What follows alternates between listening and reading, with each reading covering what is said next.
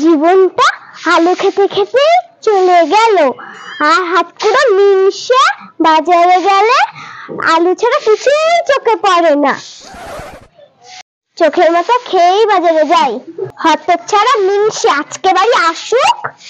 মাছ মাংস ছাড়া যদি আলু আনে আজকে গিলি গিলি খেয়ে মারবো। না হলে আমাদের খেতে নাই। No, no, no, no.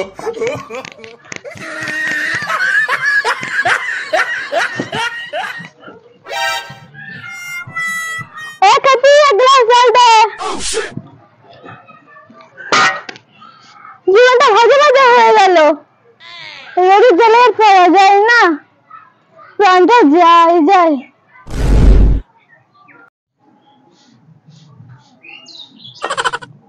খেতে কই?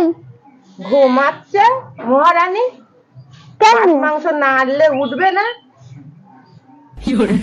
তা ভালো ভালো। ঘুমালে শরীর ভালো থাকে। একবেলা ভাত বেঁচে যাবে। ও খোকা ও খোকা রুই মাছ এসেছে। খুব সস্তা। কত কিলো? কত কিলো বাবা তো জানি না তিরিশ টাকা শ। কম দামে তো আছে। পাঁচশো নেব? কি? তিরিশ টাকা শ? তার মানে তো দেড়শো টাকা পাঁচশো। হ্যাঁ? দেড়শো টাকা? ও বাবা।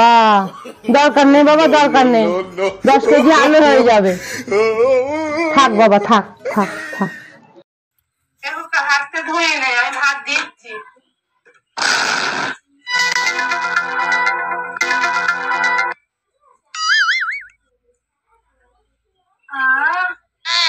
আলু চচ্চড়িটা কেটে দিয়েছে আমি। ওর জন্যই কেমন ক্যাচ ক্যাচ করছে. ও মারান। তার জন্যই মুখ